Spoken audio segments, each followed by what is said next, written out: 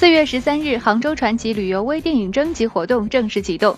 知名导演李少红、名嘴刘仪伟以及杭州传奇宣传大使华少等纷纷赶来现场为此次活动助阵。值得一提的是，华少演唱的大赛同名主题曲《杭州传奇》也在现场正式首发。据悉，此次杭州传奇旅游微电影原创大赛分为微故事征集和微电影征集两个阶段进行。微故事征集大赛自一月七日启动，目前已圆满结束。第二部分微电影征集大赛则将持续至七月三十一日。